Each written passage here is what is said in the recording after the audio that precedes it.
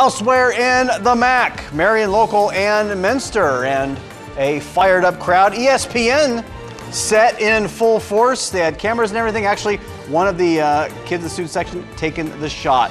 Jaden Mesher taking that shot to put Marion Local up by 13. Now, Minster's Johnny Nixon getting his own miss, puts it back and scores. Marion answering, however, with a few seconds to go, Peyton Audie knocking down the three. Advancing to the fourth quarter now, and James Niemeyer, he hits the triple, cutting the lead to 42-28. Then Nixon stepping outside, knocking down the three from the top of the key.